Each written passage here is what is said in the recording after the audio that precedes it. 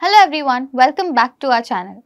In the dynamic world of investing, mutual funds have long been a preferred choice for those looking to grow their wealth over the long term. However, not all mutual funds are created equal.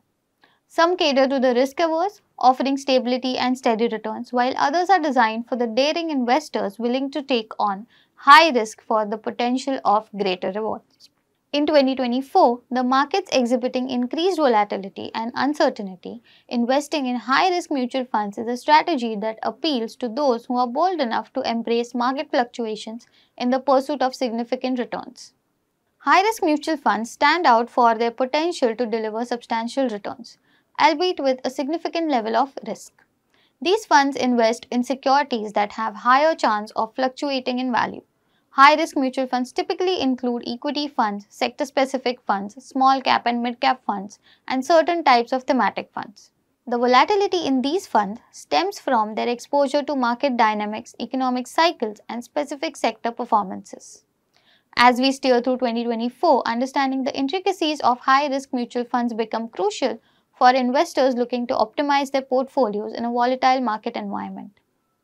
While the potential for high returns is a key attraction, the risk factor is equally significant. In this video, we'll explore the various categories of high-risk mutual funds, delve into their performance and characteristics, and discuss their suitability for different types of investors in the current market landscape. These are the categories of high-risk mutual funds. Let's delve into the various categories of mutual funds that are generally considered high risk. Equity mutual fund, mid and small cap equity mutual funds. Mid and small cap funds are equity mutual funds that focus on investing in companies with medium to small market capitalizations. These funds are considered high risk due to their inherent volatility of mid and small cap stocks, which are more susceptible to market fluctuations, economic changes, and company specific risk.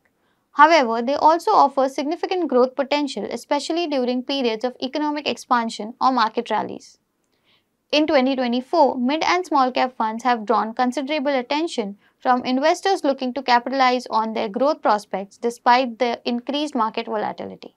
The second half of 2024 brought challenges as global economic uncertainties and inflationary pressure led to increased market volatility.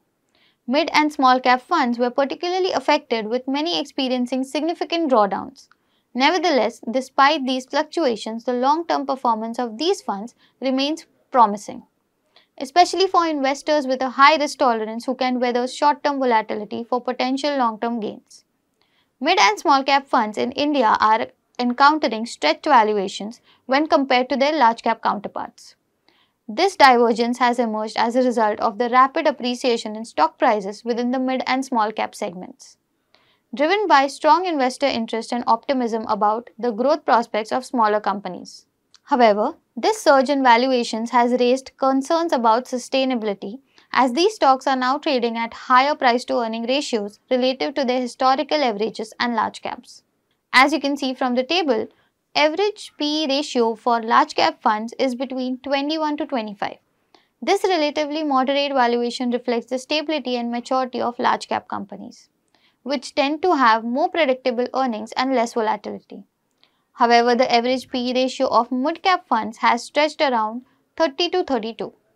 This higher valuation is driven by strong investor demand and expectation of robust growth, but it also raises concern about potential overvaluation, especially if growth slows or market sentiments shift. Small cap funds are trading at an even higher PE ratio, typically ranging from 32 to 36. This steep valuation underscores the significant optimism surrounding the growth potential of smaller companies. However, it also amplifies the risk as small caps are more susceptible to market volatility and economic downturns. These stretched valuations in mid and small cap funds suggest that investors are pricing in aggressive growth expectations, which may not be sustainable if market conditions deteriorate with their moderate PE ratios offer relatively better value and stability in the current market environment. This calls for cautious investment strategies, especially for those considering exposure to the more volatile mid and small cap sectors.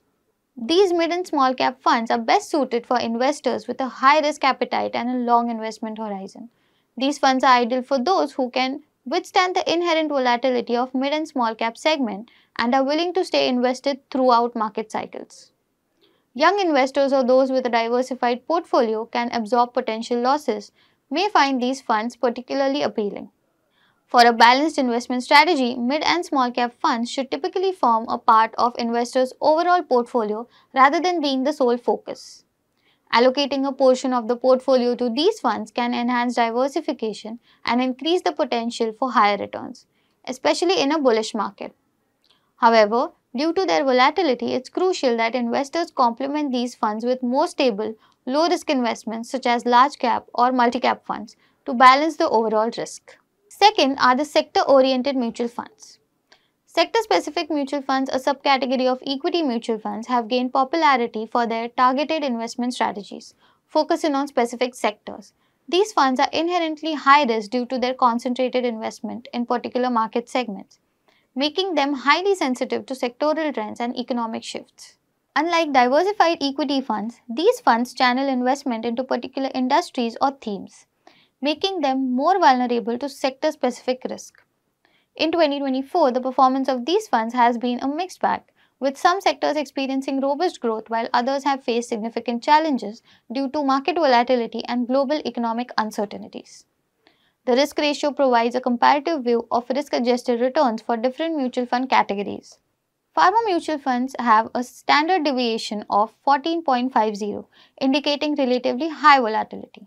The Sharpe ratio of 0.39 and Sortino of 0.87 suggest moderate risk adjusted returns with a better performance in terms of downside risk compared to the benchmark.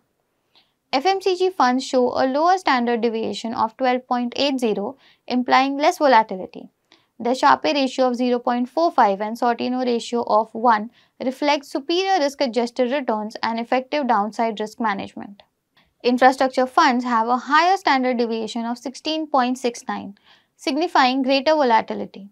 With a Sharpe ratio of 0.42 and a Sortino ratio of 0.90, these funds provide good risk adjusted returns, though they experience higher fluctuations than FMCG funds. Thus, FMCG funds offer the best balance of risk return with lower volatility and higher risk adjusted ratios. Infrastructure and pharma funds have higher volatility but also provide strong returns relative to their risk profiles. Over the past year, certain sectoral funds, particularly those focused on technology and healthcare, have delivered robust returns. The technology sector has benefited from continued digital transformation and advancements in artificial intelligence, while healthcare has remained strong due to ongoing global demand for innovative medical solutions. However, sectoral funds also experience significant volatility with sharp corrections during periods of market sell-offs, reflecting the inherent risk associated with concentrated investments. These funds are best suited for investors who have a strong understanding of the specific sector and are willing to take on concentrated risk. They are ideal for those looking to capitalize on specific economic trends or innovations. Third are the thematic mutual funds that invest in a particular theme such as ESG, environmental, social and governance, global megatrends or emerging markets. These funds are similar to sector funds but focus on broader themes that may span multiple industries. Thematic funds have varied performances based on the theme. Funds centered around infrastructure and green energy have performed well, driven by government initiatives under the Modi 3.0 administration.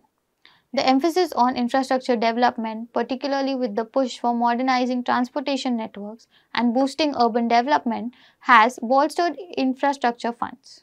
Similarly, the government's focus on renewable energy and sustainability has provided a strong tailwind for green energy funds.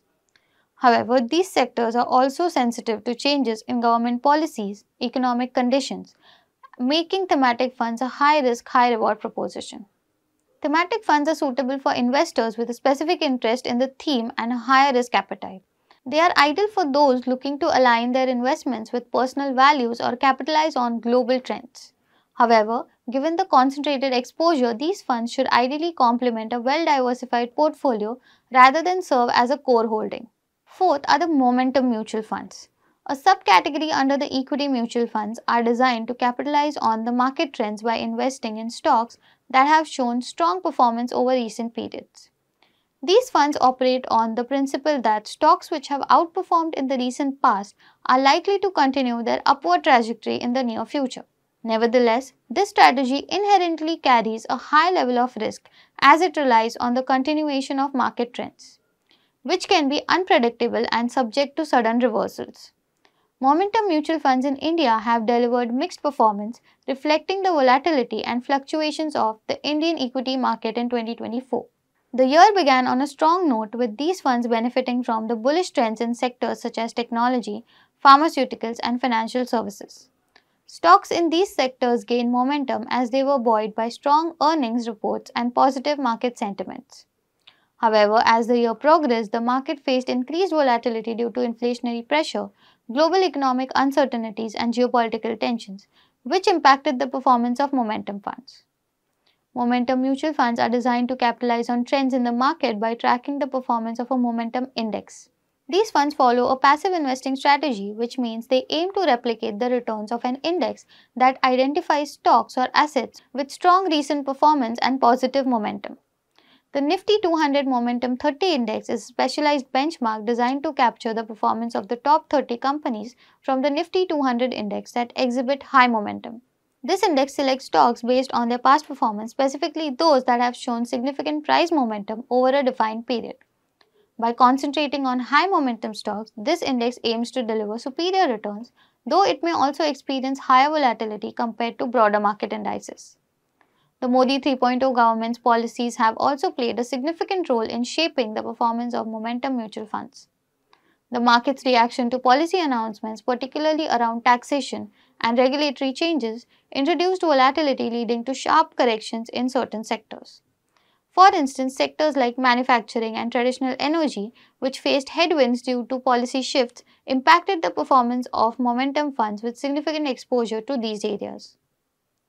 In the context of 2024, with the Indian equity market exhibiting significant fluctuations, momentum mutual funds offer a bold investment option for those who are willing to actively monitor market trends and adjust their portfolios accordingly. Investors who understand the dynamics of momentum investing and have the ability to ride out short term volatility may find these funds rewarding. However, it is crucial to approach these investments with caution as the performance of momentum funds can be heavily influenced by market sentiment and external economic factors.